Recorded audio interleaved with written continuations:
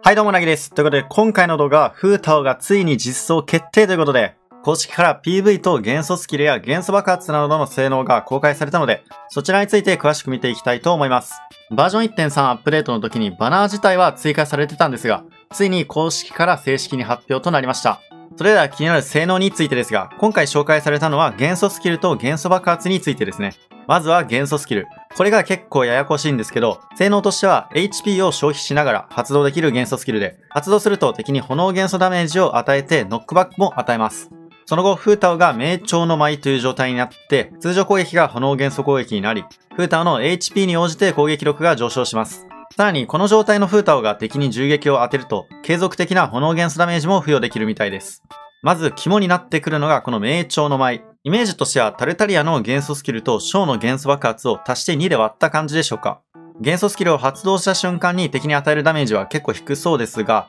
自傷ダメージを受けながら自身に炎元素を付与できる点、そして HP に応じて攻撃力が上がる点から、ウータはおそらく火力の高いメインアタッカー枠のキャラになるのかなと。しかも銃撃で継続的な炎の元素ダメージを与えられるのはシンプルに強いですよね。ただし銃撃が突進系なので、そこが若干使いづらそうなポイントでしょうか？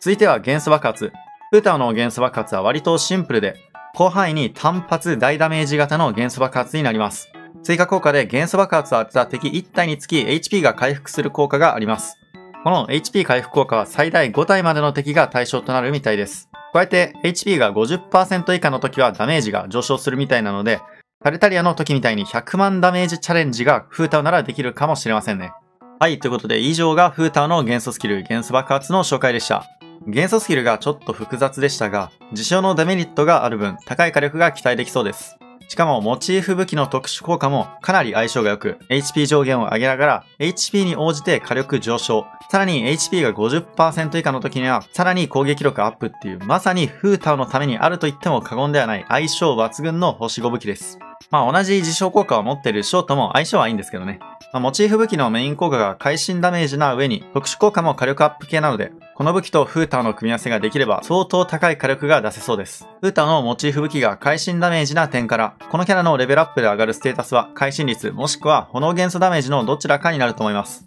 まあ元素スキルで炎元素付与の能力を持っているので、多分炎元素ダメージになるのかな。また実装され次第初日でレベル90まで育成させて、実際の使用感などを動画で解説するので、チャンネル登録をして待っていてください。あとはミルダムの方で初日レベル90の性能検証とか、おそらく貫突配信もすると思うので、概要欄からそっちのフォローもしていただけると嬉しいです。いや、にしても PV とかめちゃくちゃ可愛かったですね。ウタオの CV は高橋理恵さんで、このスバのメグミンとか、リゼロのエミリアの声優などを務めた超有名な方です。特にフータオはメグミンと少し見た目が似ているので、メグミンが好きな方はフータオもドストライクだと思います。僕もこのスバの中ではメグミンが一番好きなので、高橋理恵さんの抜擢は超嬉しかったです。PV の中でもところどころメグミンやエミリアっぽい喋り方のところがありましたね。PV のこのシーンがめっちゃ良かったみたいなのがあればぜひコメント欄で教えてください。個人的にはフータオが目を細める最初のところがめっちゃ好きでした。はい、ということでちょっとね、個人的な話が入っちゃったんですけど、今回の動画はここら辺で終わりにしたいと思います。